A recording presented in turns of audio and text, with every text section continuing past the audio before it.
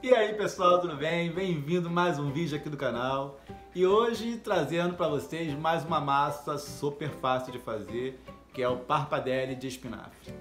O parpadelli é uma massa muito requisitada nos restaurantes na gastronomia italiana e vocês devem conhecer, é tipo um fettuccine sendo um pouquinho mais largo do que o fettuccine.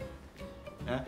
Então, vou mostrar para vocês, esteja aqui pronto, já embaladinho, feitinho, essa massinha que a gente vai aprender hoje, tá bom? Então, vamos lá?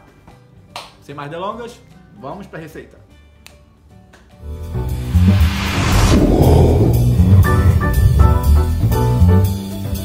Então, pessoal, para minha receita eu vou usar o espinafre congelado. Tá? Esse espinafre aqui você pode achar em qualquer mercado, qualquer hortifruti. E também, se você não quiser fazer com espinafre congelado, você pode fazer com espinafre em folha ou com espinafre em pó, tá bom? Eu vou usar o congelado que eu prefiro usar, que já vem prontinho, já desfolhado. É só descongelar no micro-ondas ou levar numa panela até descongelar e pronto, tá bom? Agora já com ele descongelado, eu vou espremer ele com a mão para tirar o excesso de água. Olha só.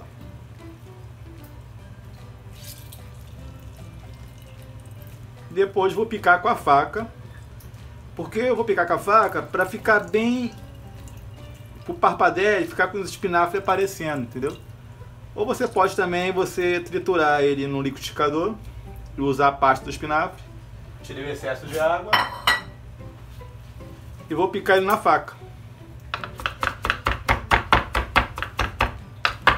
Você pode usar também o liquidificador, só que eu prefiro picar na faca, porque para massa ficar com as pintinhas mais grandes de espinafre aparecendo, entendeu? Fica mais bonito.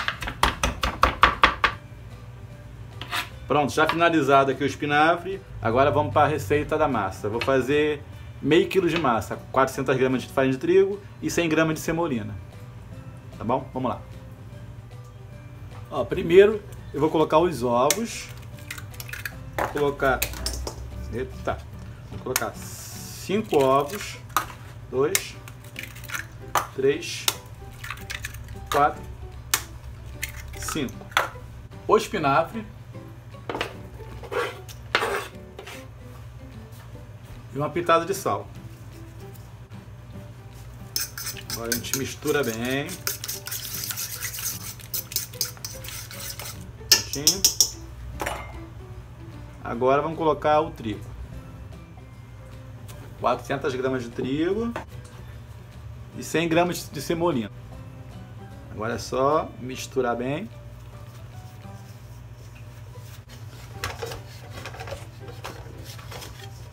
Aqui já finalizando. Lembrando para deixar descansar por 30 minutos. Como é que ela ficou bonita? Essas pintinhas que eu falo, tá vendo? Picada na faca, ela fica assim. Se fosse bater no triturador ou no liquidificador, não ficaria, ficaria toda verde. Eu queria dar esse efeito bonito na massa.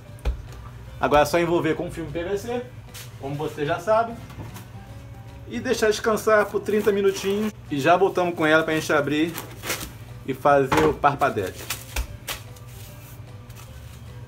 Então, voltando aqui, a massinha descansou. Lembrando que você pode abrir ela num rolo, num pau de macarrão, ou você pode abrir também no cilindro manual, também é uma boa. Isso aqui é bom para ter em casa, é barato e faz espaguete, fettuccine e abre a massa. Como eu tenho um cilindro aqui, eu vou abrir no cilindro, tá bom? Vamos lá.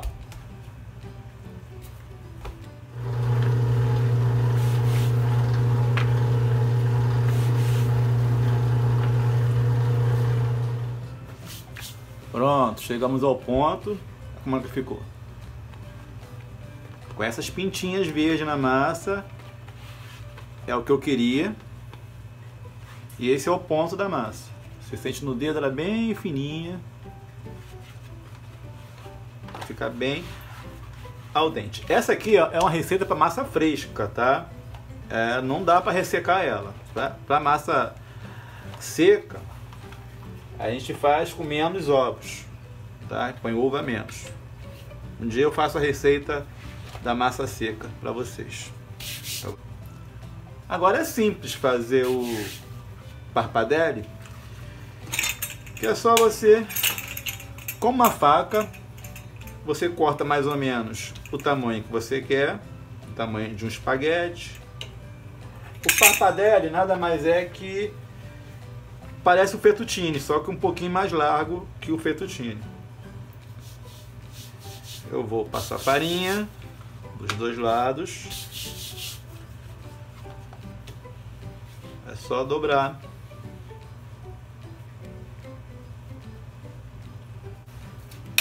É só você ir cortando os parpadelle e reservando ele.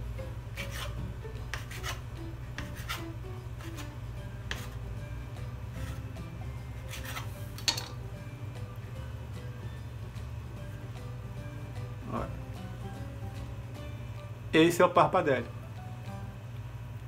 Bonito, né? Bonito e saboroso. Esse espinafre, então, ele fica muito bonito. Eu acho que eu piquei até a folha demais, que não está aparecendo muito. Tinha que picar um pouco menos, deixar um pouquinho maior. Agora a gente vai banhar em água fervendo por 30 segundos, tá bom? Nada mais que isso, 30 segundinhos para ficar al dente. Não podemos deixar a massa passar do ponto, senão gente faz feio. E também tem outro corte. Se você tiver um cortador de pizza em casa, você acerta aqui as bordas da massa e vai cortando ó, um por um parpadelle. Tenta fazer mais ou menos tudo do mesmo tamanho. É até mais rápido. Tá vendo? Cortei tão um pouquinho maior, mas pode cortar um pouquinho menor. Esse é o parpadelle. O cortado com a faca, o cortado com o cortador de pizza. Eu cortei um pouquinho maior. Então vou acabar de cortar aqui e vamos banhar para ver como é que ficou. A água ferveu, a gente joga ele na água de uma vez só. Separa em duas porções com um garfo a gente vai mexendo, soltando e marcando no relógio 30 segundinhos. Solta todinho. Pode colocar de uma vez e soltar. Agora só acabar os 30 segundos, vou tirar ele e banhar água gelada. Já deixei um bol com água gelada já esperando. Só jogar dentro. Aí vai esfriando a massa. É que ela ficou bonita. Muito linda. Então, depois de escorrer bem, eu coloco um pouquinho de óleo, ou azeite, ou óleo composto, dá uma misturada. Pô, ficou muito bonita essa massa. Ó, o ponto que eu queria, ficar com essas pintinhas verdinhas, muito bonito. Agora eu vou passar ela para um recipiente, para um isopor no ponto de venda. É só embalar e vender. Massa fresquinha, feita na hora. Já com ela aqui no isopor, aqui ó, tá no ponto de venda. Só você embalar. Como eu já falei, se tiver uma, uma, uma seladora em casa para selar ela, embalar a vácuo, ou no filme PVC, aqui você embala e vende. Ou para consumir, é cinco dias na geladeira, né? No freezer, não aconselho a congelar a, o espaguete, nem fettuccine, nem o parpadelle, porque não dá certo. Porque existem massas que você pode congelar, mas tem massas que não podem congelar. Tá bom? Então, se você gostou desse vídeo, não esqueça de deixar seu like aí, deixar seu comentário, tirar sua dúvida. E quem não é inscrito, inscreva-se no canal, tá bom? E para ficar por dentro de todas as receitas aqui do canal.